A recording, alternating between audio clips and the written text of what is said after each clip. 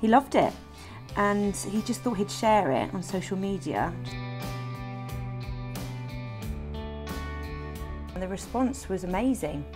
Thousands of uh, likes and messages on Twitter and Facebook.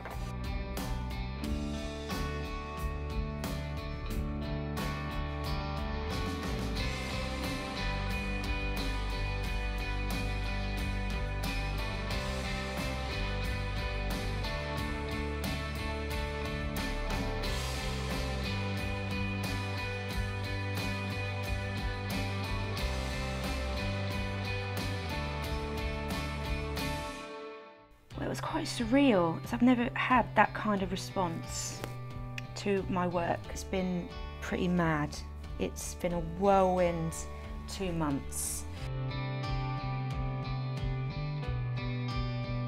It spurred on my passion as, a, as an artist, as a painter.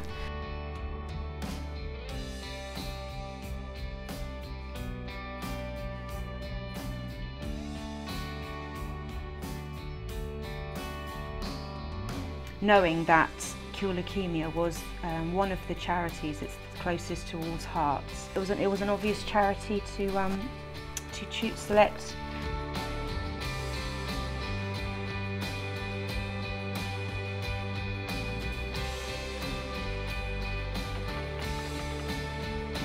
Well, my husband is the big Wolves fan, um, and then and my son being uh, a Wolves fan as well. Doing these doing these paintings has helped me connect to that world.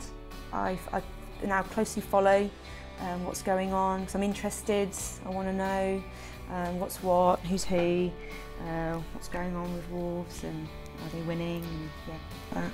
Well, they're always winning. Yeah. yeah, at the moment.